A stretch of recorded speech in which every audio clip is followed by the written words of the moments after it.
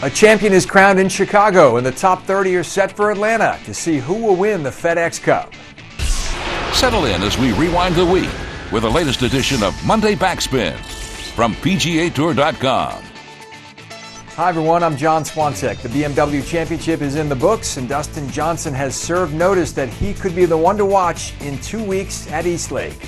Johnson erases all the memories of recent Sundays with the final round 69 to win by a shot over Paul Casey for victory number two on the year. And now he has a chance to take home an even bigger piece of hardware. It feels great. You know, I've had a lot of unfortunate situations happen on Sunday, you know, this year, but I hung in there all day. I played good. I hit the ball really well all day, hit it all the flags, and, um, you know, it paid off. The top five players now head to Atlanta and East Lake Golf Club, the home of Bobby Jones, with a chance to write their own piece of history. The top five in FedEx Cup points control their own destiny, win in Atlanta, and they win the FedEx Cup. Johnson's victory in Chicago moves him to second in the standings, right behind the Barclays champion Matt Kuchar. Charley Hoffman remains in the top five with his win in Boston. Steve Stricker drops to fourth, and Paul Casey, runner up in Chicago, joins the top five. The top two players in the world ultimately were not in the running for the title in Chicago, but anytime these two are paired together, the golf world is watching. Tiger Woods and Phil Mickelson played the final round together, with Mickelson getting the best of Tiger with a 67 on a tough day. Tiger would settle for a 70, closing with three birdies over his final five holes, but this would be the last stop in the postseason for Woods. He fails to advance to East Lake, ending a streak of 14 consecutive seasons with a victory. The last time Tiger didn't post a win, 1995, before he turned pro.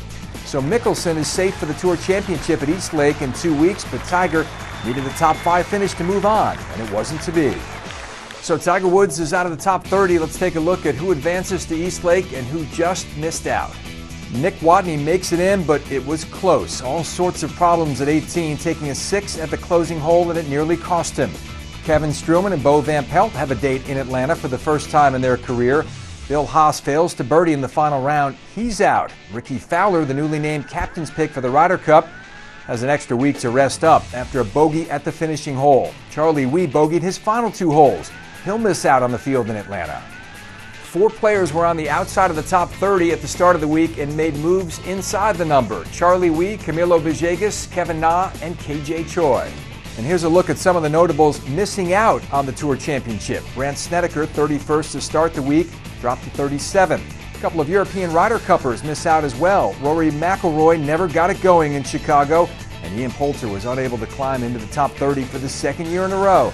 Tiger ultimately finishes 42nd, and Vijay Singh, who won the FedEx Cup in 2008, finishes outside the top 50. For more from Chicago and his thoughts on the week, here's Michael Collins from the PGA Tour Network on Sirius XM Radio. That's what the playoffs all about right there, Swanee, isn't it? What an amazing week at the BMW Championship. Now, the thing I'm going to take away from it didn't happen on the golf course, it happened off the golf course. Why do I love this BMW Championship so much? Man, we was racing BMWs earlier this week. That's right. They let some players and even some of us from Sirius XM. But look back on the tournament a little bit. How about the Sunday? Mickelson, Woods in the same group together, world's number one and world's number two. They're not even in the tournament. They don't got a chance to win whatsoever. But what happens? Biggest crowd probably of the year following the two Clash of the Titans. Hey, the BMW Championship was everything the playoffs is supposed to be. Drama coming down to the end. You had a guy like Dustin Johnson who had two opportunities at major championships earlier in the year. He's fighting to try and get it done. Now we're going to the Tour Championship. 30 dudes with a chance to win the FedEx Cup. But top five hold their destiny in their own hands. And that's all you want going into the Tour Championship in Atlanta, isn't it? You got to remember, you got to catch all of our action. We're going to have every single second of it for you on the PGA Tour Network, Sirius 209 XM 146. All right, thanks, Michael. We're all set for the Tour Championship beginning September 23rd at East Lake in Atlanta. For everything you need to get set for the final playoff event, stay right here at PGATour.com.